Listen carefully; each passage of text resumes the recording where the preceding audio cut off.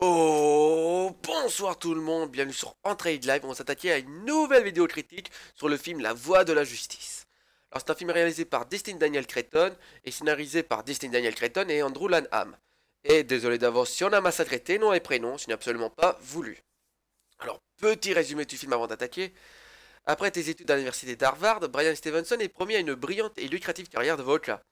Il décide cependant de se rendre en Alabama pour défendre des personnes condamnées à tort. Il est aidé par Eva Hansley, une militante locale.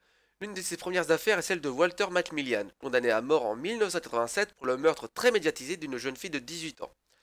Et Brian va être pris dans la complexité des manœuvres juridiques et politiques tout en luttant contre des actes racistes.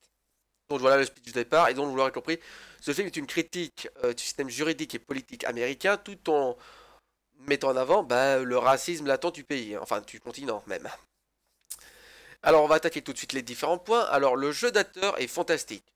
Que ce soit les acteurs principaux, donc Michael B. Jordan, Jamie Foxx et Brie Larson, eux ils sont superbes, ainsi que les rôles euh, secondaires et tertiaires. Vraiment, il n'y a personne à acheter au niveau jeu d'acteur. Tout le monde donne tout ce qu'il a.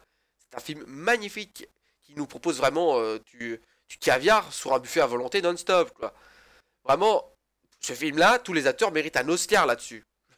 Vraiment, voilà, je voulais vraiment le souligner ce point-là. Alors sinon, bah, le film est une adaptation de faits qui a su s'approprier l'histoire sans la déformer, comme ce fut le cas pour Green Book, fort malheureusement, et tout en l'adaptant à un format cinématographique, ce qui n'est pas forcément évident, quoi. C'est d'ailleurs le cas qui a été fait pour Green Book, hein, il a été beaucoup changé bah, pour mieux équilibrer les rôles, on va dire, et euh, permettre que ce soit adaptable au cinéma. Mais là, ils ont réussi à garder l'essence et tout le gros fait, tout en les rendant euh, au format cinéma. C'est vraiment un excellent travail d'écriture et de réalisation et de scénarisation. Là-dessus, euh, gros gros point euh, pour le film encore. Sinon, bah, la mise en scène est superbe et elle a fait le choix de jouer dans le sobre et là, à l'inverse par exemple de la ligne verte. Parce que par exemple, pour donner une scène qui va bien parler à tout le monde, bah, là où la ligne verte voulait vraiment aller dans le choquant et le spectaculaire lors des exécutions à la chaise électrique, que ce soit avec euh, La Croix, John Café, etc., eh bien, ce film-là a choisi euh, la voie de la sobriété, parce qu'on ne voit qu'une seule exécution, celle euh, d'un homme qui a été condamné à mort, parce que c'est un ancien soldat du Vietnam qui a gardé plein de traumas post-guerre, et qui, disons, dans l'une de ses crises de folie, a fabriqué une bombe qui a malheureusement tué une, jeune personne. Et donc le mec qui est condamné à mort été exécuté. Eh bien, le film nous offre une exécution, mais sans euh, aller euh, dans la démonstration outrancière, je vais dire, parce que euh, on ne voit pas le mec, enfin on voit le mec être installé sur la chaise, mais après on voit des plans de ses camarades de cellule qui frappent sur les barreaux pour et qui gueulent pour qu'ils puissent l'entendre. Via le système de ventilation, qu'ils puissent entendre, qu'ils le soutiennent, qu'ils sont avec lui non-stop, qu'ils l'aiment, etc. Qui leur apporte un soutien mais énorme ainsi que les personnes, notamment euh, le personnage de euh, Brian Stevenson, euh, qui a un gros plan sur lui au moment de l'exécution. On ne voit jamais le, prisonnier se faire électrocuter, à l'inverse de justement de la où on voyait beaucoup. Je veux dire, on voit même un mec cramé vif hein, là-dedans, hein, parce qu'on a oublié de mouiller l'éponge.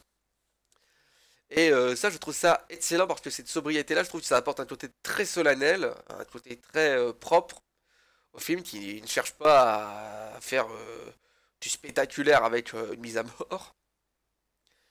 Et euh, c'est un excellent choix et c'est très bien filmé. Vraiment, d'un point de vue réalisation et montage, c'est un excellent travail, c'est magnifique. Et sinon, bah, un autre point que je tiens à souligner, bah, c'est que le film est très nuancé dans son histoire et dans ses personnages. Quoi, parce que d'un côté, on a l'avocat qui s'oppose à Brian Stevenson. Vous pourrait croire que c'est un putain de gros connard raciste, on a rien à foutre qu'on exécute un pauvre euh, afro-américain.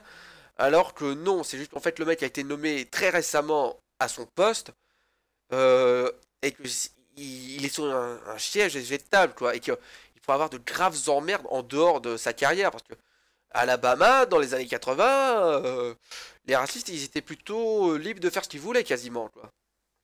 Et on a aussi le seul témoin visuel euh, par rapport euh, à l'utilisation de Walter Macmillan, euh, qui tout le long du film on croit c'est une putain de balance raciste qui a fait un accord avec le juge pour avoir une peine réduite en permettant de résoudre cette affaire de jeune fille assassinée et de faire cramer un noir. ah, bah, ça n'a pas trop changé. Et on se dit tout le long, voilà, c'est juste de le racisme, alors que non, parce qu'en fait, cette balance est en réalité une victime parce que euh, c'est une personne qui a souffert d'un traumatisme lié au feu, il a gravement été brûlé, euh, et euh, les policiers ont voulu le faire accuser, enfin, ont, voulu lui forcer la main pour qu'il accuse Walter, il a refusé tout le long. Alors ce qu'ils ont fait, bah, c'est qu'ils l'ont torturé psychologiquement, parce qu'ils l'ont enfermé dans le couloir de la mort, dans la cellule la plus proche de la salle des exécutions, et au moment où une exécution allait avoir lieu, et malheureusement, il a senti via le système de ventilation l'odeur de la chair en train de brûler. Ce qui lui a rappelé tout son traumatisme et euh, l'a mis KO par terre. Et les mecs lui ont dit Tu resteras là jusqu'à ce que tu dises ce qu'on veut entendre. Alors évidemment, le mec, il a craqué avec une telle torture psychologique. Vraiment, c'est infâme ce qu'on a fait vivre à cet homme. Pour moi, alors tout le début du film, je disais c'était une sale race, une pourriture qui a vendu euh, Walter euh, pour s'en mais en fait non, c'est autant une victime que Walter. Quoi. Sauf que lui, il n'est pas condamné à mort, mais il a subi les mêmes discriminations et tortures que ce dernier, quoi. Et ça, j'aime beaucoup. Parce que via ce personnage, ces deux personnages-là, et notamment un flic qui a refusé de faire valider les fausses preuves à l'encontre de Walter, qui a été viré de la police, vraiment, grâce à ces différents personnages, on a une histoire beaucoup plus nuancée, qui n'est pas juste le méchant raciste et le gentil anti-pas euh, raciste.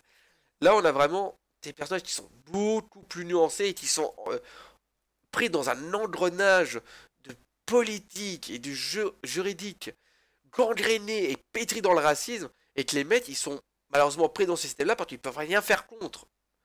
Et ça, euh, je trouve ça, mais c'est incroyablement amené. Je suis désolé, je me répète beaucoup, mais ce point, parce que vraiment, le film, il m'a mis une claque, parce que moi, je, croyais vraiment que c'était cliché de connard raciste et tout, mais en fait, non, c'était victime.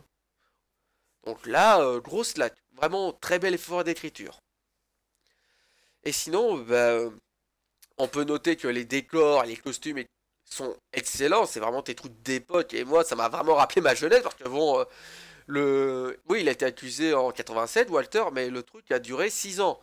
Donc euh, ça a duré jusqu'en 93 où euh, bah, moi j'avais 6 ans et oui j'ai revu tes appareils et tes costumes que moi j'ai connus à l'époque quoi. Genre les vieux lecteurs cassettes et tout le tralala quoi. Ça m'a rappelé un peu mon enfance. Donc, euh, vrai, vraiment, gros effort d'un point de vue costume, etc. Vraiment superbe. Par contre, le seul point noir que je peux reprocher au film, bah, c'est que d'un point de vue musical, le film, il, est correct, hein, il respecte l'union syndicale, mais il n'y a pas de grosse musique qui soutient et soulève l'action. Ça, c'est vraiment dommage, parce que sans ça, le film, pour moi, il est parfait. quoi. D'ailleurs, je pense que je pense pouvoir m'avancer en disant que ce film-là, il sera dans le top 3 des, films de 2020. Quoi, hein. Vraiment, euh, pour moi, vous pouvez vous y attendre à le voir. Il y a de fortes chances en tout cas. Et sinon, bah oui, je vous recommande vivement d'aller voir ce film-là. C'est un excellent film euh, qui traite vraiment de cas euh, très mis en avant, qui est d'ailleurs toujours d'actualité, parce que bon, en Amérique actuellement, même si ce n'est plus les communautés afro-américaines qui sont visées, mais plus les communautés mexicaines, ben, c'est exactement la même histoire, quoi. Juste parce qu'ils ont le malheur d'avoir le mauvais timbre de peau ou d'avoir la mauvaise origine, le mauvais accent, etc., bah oui, ces gens-là sont pris dans un système qui va tout faire pour les défoncer alors qu'ils sont innocents, quoi.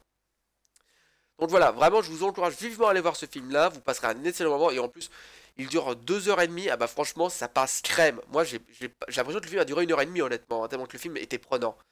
Allez, sur ce, je vous dis à très bientôt pour une nouvelle vidéo critique sur Bird of Prey.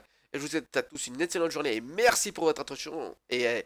A très bientôt sur Entraide Live. Allez, salut tout le monde. Bisous, bisous.